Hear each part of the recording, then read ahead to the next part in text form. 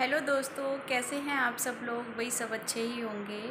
और आज के ब्लॉग में मैं आप लोगों के साथ जो चीज़ शेयर करूँगी, वो ये है कि मेरे मायके से मेरा सिंदारा आ गया है तो मैं आप लोगों के साथ शेयर करूँगी कि उसमें क्या क्या आया है। और मैंने अपने भाइयों के लिए बनाया था झटपट शाही पनीर तो मैं उसकी रेसिपी भी आप लोगों के साथ शेयर करूँगी। और वो मैंने बनाया था बिना प्याज के, क्योंकि होता क्या है कि जब बिना प्याज के कोई बोल देता है ना कि बिना प्याज के सब्ज़ी बनानी है तो ज़्यादातर जो लोग प्याज खाते हैं ना, वो लोग ये सोचते हैं कि बिना प्याज के तो यार टेस्ट ही नहीं आएगा।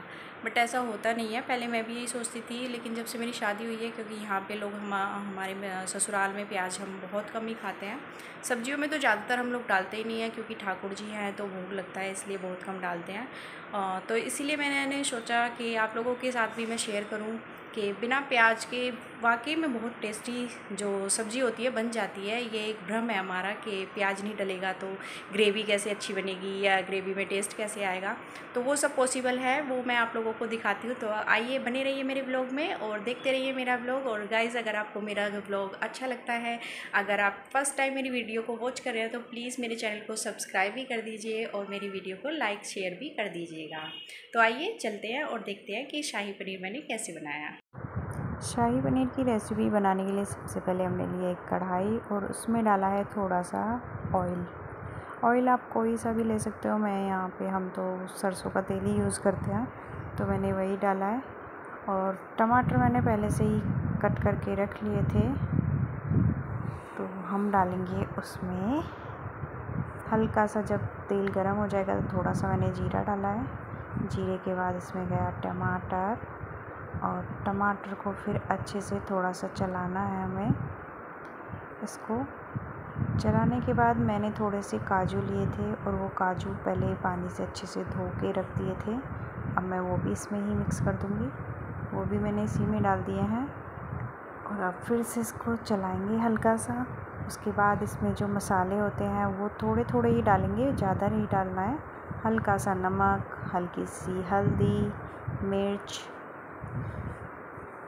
जो भी आप मसाला यूज़ करते हैं अपनी सब्ज़ी में, बस वही हल्दी, नमक, मिर्च, वही हमको इसमें भी डालना है। और इसकी जो ये ग्रेवी बन रही है ना, इसको अच्छे से हमें टमाटर को ठीक से पकाना है। जब तक कि टमाटर पूरा सॉफ्ट नहीं हो जाता है, तब तक हमें उसको पकाते रहना है। जब वो सॉफ्ट हो जाएगा तो हम अपनी गैस को बंद कर देंगे और वो हमारी ग्रेवी के लिए, बनने के लिए तैयार हो जाएगा। अगर आप ऐसी ग्रेवी बनाते हैं तो वो फिर उसको ज़्यादा पकाने की भी ज़रूरत नहीं पड़ती है, क्योंकि टमाटो और जो भी आप ग्रेवी में डालना चाहते हो, वो आधा तो पक चुका होता है। ये देखिए, ये बिल्कुल ऐसा हो जाएगा ना। जब ऐसी इसकी सिचुएशन हो जाती है तो मैं गैस ऑफ़ करके इसको यहाँ से हटा लेंगे और फिर इसको हटाने के बाद मैंने तो यहाँ पे एक प्लेट में करके इसको और फिर ठंडा करने के लिए इसको रख दिया था। क्योंकि इसको ठंडा होने में काफ़ी टाइम होता है, लग जाता है। तो मुझे काफ़ी टाइम लग जाता है इसको अगर ऐसे ही रखो तो मैं इसको प्लेट में डाल के फिर इसको पंखे में रख देती हूँ ठंडा करने के लिए। और यहाँ पे मैंने लिया एक कटोरी छोटी वाली कटोरी में आधा कटोरी पानी लिया है और उसमें हम लोग मसाले डालेंगे। अभी हमने उसमें भी थोड़ा थोड़ा मसाला डाला था। इसमें हम जो सब्ज़ी के हिसाब से अपना मसाला डालेंगे, हल्दी और ये है सब्ज़ी मसाला। ये मैंने दो टेबल स्पून डाला है छोटी वाली और लाल मिर्ची डाली है। मसाले तो आप अपने अकॉर्डिंग ही ले सकते हैं। कोई तीखा खाता है तो ज़्यादा ले और कम खाते हैं तो कम ले। हाँ गाइस यहाँ पे बोल वीडियो बनाने के चक्कर में देखो मैंने क्या किया है। मिर्ची के अंदर नमक डाला है। ऐसी छोटी छोटी गलतियाँ तो होती रहती है।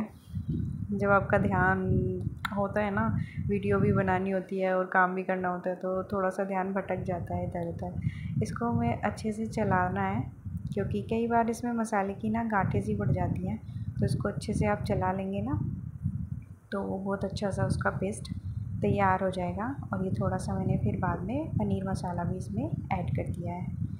इसको डाल के आप अच्छे से चलाएँगे। और ये देखिए, ये ऐसे घोल बन के तैयार हो गया। अब वो हमारा ठंडा हो गया था, टमाटो जो हमने अपने किया था, तैयार करके रखा था तो मैंने उसको मिक्सी में चला लिया है। और मिक्सी में उसको तब तक चलाना है जब तक वो अच्छा सा पेस्ट उसका नहीं बन जाता। मैंने एक कढ़ाई ली है, कढ़ाई में तेल डाला है। और तेल डालने के बाद जब तक कि तेल अच्छे से गर्म नहीं हो जाता, तब तक आप उसमें अपना जो मसाला है उसको देख सकते हैं चेक कर सकते हैं कि उसमें कोई गाँठें वाटे तो नहीं है। कई बार हम चूर पाउडर डालते हैं ना तो उसकी गाँठें बन जाती हैं। फिर वो जब खाना सब्ज़ी खाते हैं तो उसमें आ जाती है। इसलिए आप उसको अच्छे से चेक कर लें एक बार कि वो घाटे वगैरह उसमें रह तो नहीं गई हैं। तेल गरम हो जाएगा तो आप आराम से उसको पहले गैस अगर आप ऐसे मसाला डालेंगे ना तो सच में सब्ज़ी में बहुत अच्छा टेस्ट आता है। कभी ट्राई करिएगा। ऐसे मसाला डालने से बहुत ही अच्छा सा जो टेस्ट होता है ना मसालों का, वो आ जाता है। और पानी में अगर हम इसको घोलते हैं तो अच्छी बात ये होती है कि मसाला ना जलता नहीं है। तो मैंने यहाँ पे डाला हल्का सा जीरा। और जीरे के बाद जैसे ही जीरा भुनता है तो मैं अपना ये जो मसाले वाला पेस्ट है, ये मैं इसमें डाल दूँगी। अब इसको डालने के बाद हमें अच्छे से उसको चलाते रहना होगा, क्योंकि अगर मसाले ना बहुत जल्दी सी कढ़ाई में चिपकने लग जाते हैं और जलने भी लग जाते हैं तो इसलिए गैस को सिम कर दें बिल्कुल और फिर धीरे धीरे उसको चलाते चलाते रहना है, ताकि वो मसाले आप कढ़ाई में ना चिपकें या फिर जले नहीं। क्योंकि अगर मसाला जल जाएगा ना तो फिर प्रॉब्लम हो जाएगी, फिर उसकी स्मेल आने लग जाती है और ऐसा मसाला कढ़ाई में बहुत जल्दी से चिपकने लग जाता है। तो इसलिए आपको गैस को बिल्कुल मंदा कर देना है और देखिए, ऐसे इसको चलाते रहना है। ऐसे चलाते चलाते ही इसको आपको भूनना है अच्छे से। जब तक भूनना है, जब तक कि आपका जो तेल है, वो ऊपर नहीं आ जाता है। वो तो सभी को पता होता है कि मसाला कैसे भूना जाता है। ये तो सभी जानते हैं। जब तेल ऊपर आ जाएगा तो हम इसमें अपनी जो हमने टमाटो प्यूरी बनाई थी, वो डाल देंगे। और उसको डालने के बाद अच्छे से उसको मिक्सी में से निकाल के डालेंगे और उसको डालने के बाद, भाई मुझे तो पता नहीं ये मैं जो पनीर की डिश बना रही हूँ, ये आप लोगों के घर में बनती है कि नहीं बनती, लेकिन मैं तो ज़्यादातर यही बनाती हूँ अपने यहाँ पर। और ये मैंने पनीर के पीसेस काट लिए हैं, इतनी ग्रेवी हमारी थोड़ी सी बॉईल होती है तो पनीर के मैंने छोटे छोटे से पीस जो हैं वो कट कर लिए हैं। बहुत से लोग बड़े बड़े पीस करना अच्छा लगता है। लेकिन क्या होता है ना, ज़्यादातर अगर हम ऐसा करते हैं तो वो जो पनीर होता है, वो रह ही नहीं पाता है। तो मैंने थोड़ा सा पनीर ना ग्रेट कर लिया था, और वो मैं ग्रेट करके ही डालूँगी, क्योंकि बच्चे लोग क्या होते हैं पनीर पनीर निकाल के खा लेते हैं। बच्चे क्या बड़े भी ऐसे करते हैं, कई बार जो लास्ट में खाता है, उसके लिए ग्रेवी ही रह जाती है बस। और यहाँ पे मैंने इसमें थोड़ी सी डाली है शुगर शुगर से जो उसका टेस्ट होता है, वो बहुत अच्छा आता है। बहुत हल्का सा डालना है, ज़्यादा नहीं डालना है। लाइक एक दो चम्मच आप डालेंगे। दो चम्मच छोटी वाली जो चम्मच होती है, वो दो चम्मच डाल सकते हैं और उसको अच्छे से चला दें। ये देखिए, इसकी ऐसी जो कंसल्टेंसी है, वो ऐसी होनी चाहिए। और अब इसमें हम पनीर डालेंगे। तो जो मैंने ग्रेट करा हुआ पनीर रखा था, पहले मैं वो डालूँगी। उसको डाल के अच्छे से एक बार चला के फिर हम इसमें अपने जो पनीर के पीसीज हमने कट किए थे, वो भी हम इसमें डाल देंगे। तो मैंने पनीर के छोटे छोटे पीस कर लिए थे, क्योंकि बड़े पीस में तो फिर वही प्रॉब्लम होती है। सब लोगों को पनीर ही पनीर चाहिए ग्रेवी किसी को नहीं खानी होती है। तो इसलिए छोटे छोटे पीस होते हैं तो सब पे आ ही जाते हैं और फिर ग्रेवी ज़्यादा होती है तो पीसेस भी ज़्यादा ही हो जाते हैं। आराम से। और इसमें पनीर डालने के बाद इसको एक या दो मिनट के लिए हमें अच्छे से पकाना है। मैंने प्लेट को ढक दिया है और फिर उसमें हम डालेंगे, जब उबाल आ जाएगा तो हम इसमें डालेंगे मलाई।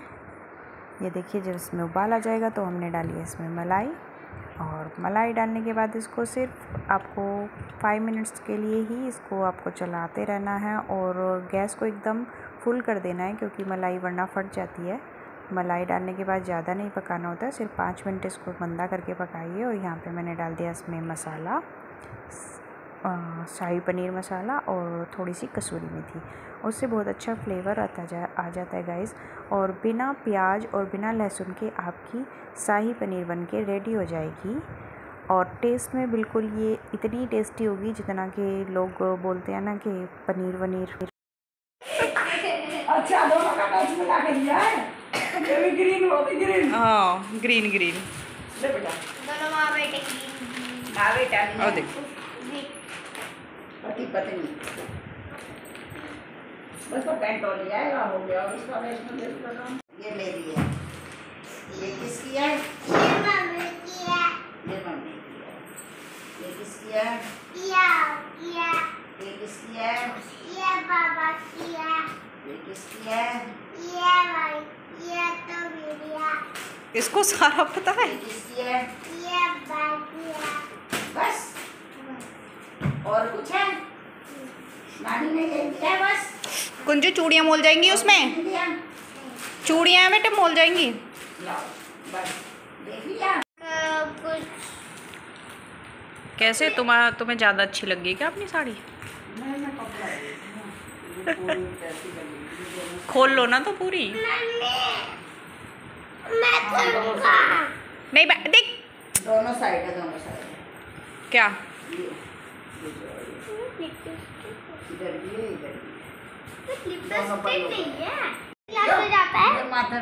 है। है। क्या कर रहा है ये? ये है। मैम कराती हैं ऐसे मैडम कैसे कराती हैं? ऐसे और और क्या कराती हैं?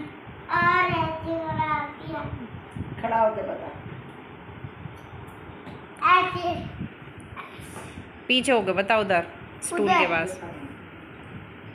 ऐसे कराती हैं? हाँ। अच्छा।